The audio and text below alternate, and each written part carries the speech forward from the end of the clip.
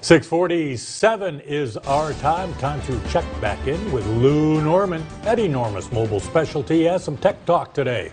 Yep, talking about some helpful tips. Uh, good morning to you, Lou. Good morning, Dave. Good morning, Tom.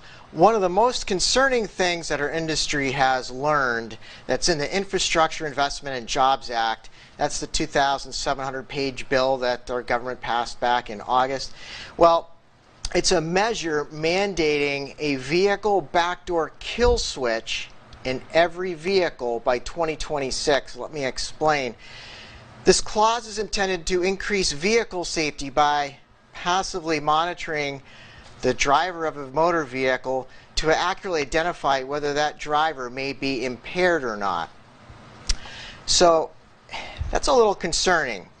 Um, let's let's get in a little bit more detail here. By 2026, vehicles sold in the U.S. will be required to automatically and silently record various metrics of driver performance, which includes listening to you in your car, tracking your eyes, and then making a decision um, whether or not you will be allowed to continue to use your own vehicle. Hmm. Even worse, the measure goes on to require that the system be open to remote access by authorized third party entities. Huh. The passage of this bill was unearthed by former Georgia Representative Bob Barr. And more pressing than these privacy concerns are the safety issues, including an automatic kill switch with internet access, which could create a new pathway for bad actors.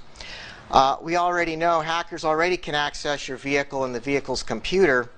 This new kill switch system presents the obvious scenario that a malicious agent could disable your vehicle remotely with no warning. Even if the remote access part of this mandate doesn't come to pass, this is still astonishingly short sighted.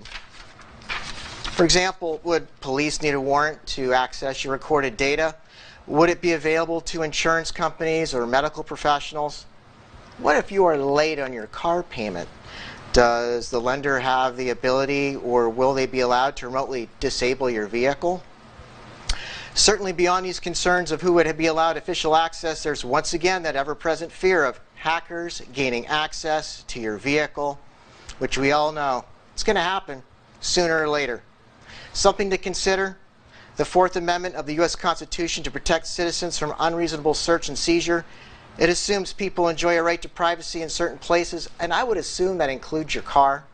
The information I just gave you is from Lauren Fix, the car coach.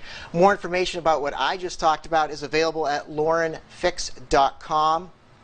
And for more information about what our electronics shop does for your vehicle, check out our website, enormis.net. That's E N O R M I S.net.